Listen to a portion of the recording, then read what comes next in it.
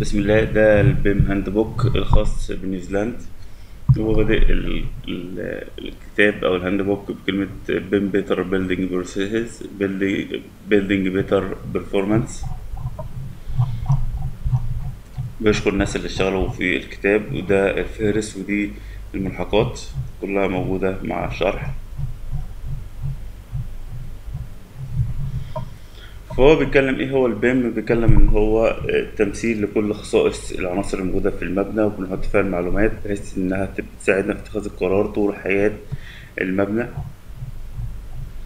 وهي بتبدأ معانا من أول ما بنفكر إن إحنا نبني المبنى وفي أثناء مرحلة ال design ال construction ال operation التشغيل.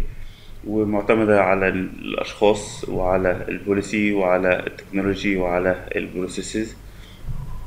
العنصر من الأربعة دول حصل فيه مشكلة ال BIM أكيد هيحصل فيه مشكلة لأن دي الأعمدة بتاعته بتاعت ال BIM آه، هنا بنتكلم بقى عن الفوائد بتاعت ال BIM يعني الناس كلها مهتمة بمرحلة design planning إنما ال... الاهتمام الأكبر أو الفوائد الأكبر أو العائد الأكبر بيعود من ال operation لأن دي مثلا لو دي شهر أو شهرين ال construction مثلا سنة هنا ال operation 30 40 سنة.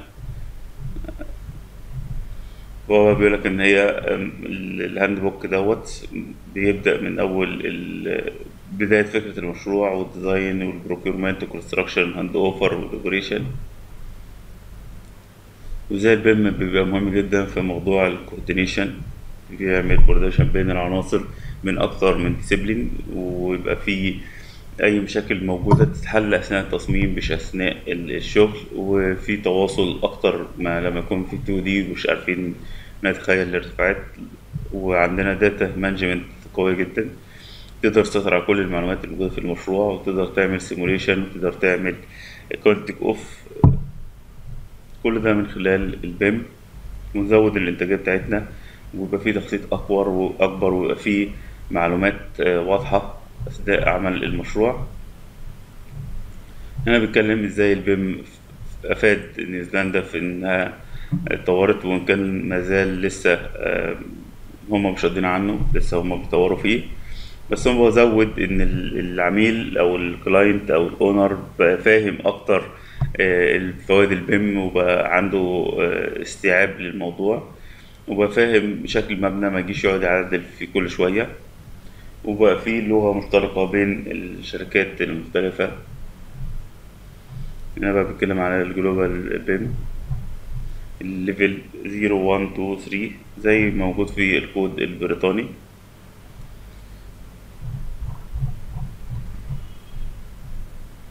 استخدامات ال BIM بيقول لك روح لل appendix دي. لما يكون عندي آه، موديل متجمع فيه كل العناصر. ده بيكون أفضل بحيث إن إحنا نقدر نحل الكلاشات الدوكيومنتيشن البروجكت بيم بريف البيم ايفالويشن كل واحدة من دول ليها appendix خاص بيها. أول ما تدوس هنا بيبدأ يجيب لي ال appendix ده تقدر تقراه وتستفاد منه. هنا بيقول لي ال BIM roles في طبعا BIM manager في BIM coordinator في BIM specialist وفي حاجات كتير جدا كل ما الشركة بتكبر بتبدأ توجد وظائف أو حاجات خاصة BIM information في واحد خاص بعمل المعلومات في واحد خاص مثلا بحضور الاجتماعات في واحد خاص مثلا بالبرمجة. ال BIM وإدارة المشروعات. ال contractor engagement بيبقى مهتم ال- ال- بالمعلومات بتاعت ال BIM ويبقى عندي ال schedule ويبقى ال request واضح وما بياخدش كتير وبيقلله.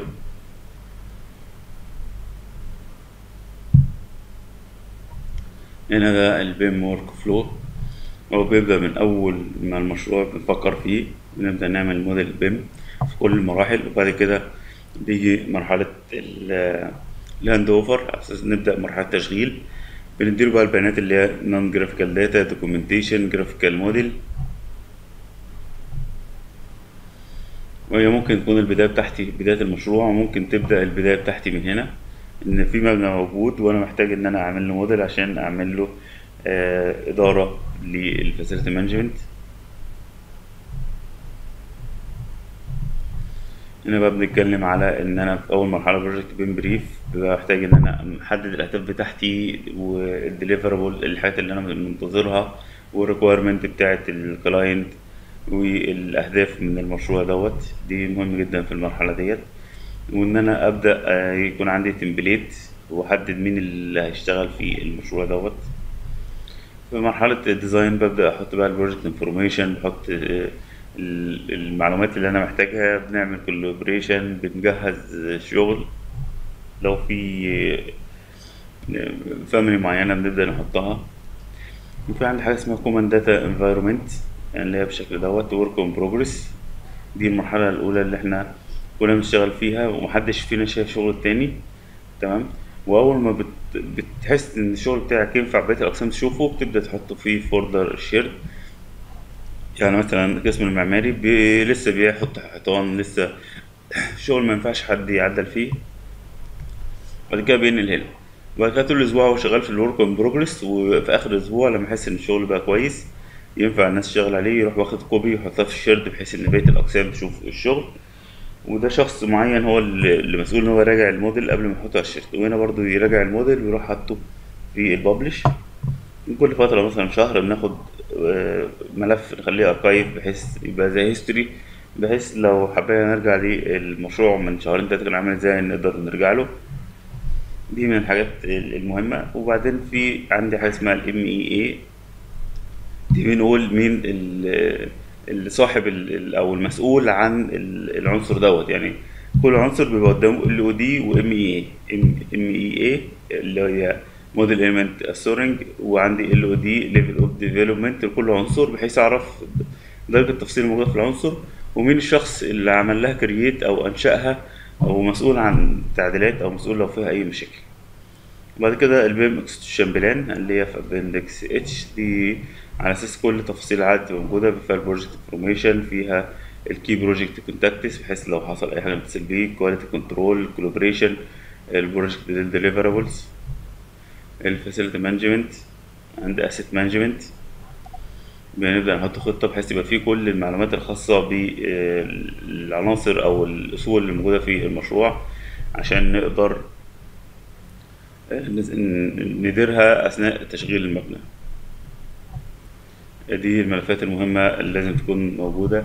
تسمي كل spaces وكل spaces تبقى فيه زي sequence معين في التسمية. ده level of development ده بيبقى عبارة عن آه، إن أنا هدي المبنى مرة واحدة لأ كل شوية بطور فيه. بقى عندي LOD 100 200 300 350 400 وبعد كده 500 اللي هو ال as-built هنا ده بقى ال coordinate بعد ما بعمل coordinate بعمل handover وبعد كده بنشوف بقى موضوع ال BIM deliverables هل هديك الملفات الأصلية؟ بتاعت الشغل مثلا شغال على برنامج ال Revit هديك ال RVT ولا هديك CAD ولا هديك PDF حسب الاتفاق. تمام؟ وكان الأفضل طبعا ما دام هو اللي هيشغل المبنى فنديله ال RVT بس ممكن هو في الأول بيقول لا وفروا لي فلوس أنا عايز ملف CAD وأنا مش عامل facility management ومصر إن إحنا هنعمل له discount مقابل إن هو يخش الملف الأصلي. بعد كده هيحتاج الملف الأصلي وهشتري له لوحده يعني. هنا بنتكلم على ال- ال data تبقى مترتبة إزاي؟ إيه الملفات اللي إحنا هنشتغل عليها. وبعد كده بعض ال requirement ده هنا بقى بيبدأ يجيب لي آه، معنى الكلام اللي كان موجود. مثلا ال 4 D إيه هو ال 5 D ال asset management ال BIM coordinator ال BIM coordination ال BIM management plan وهكذا.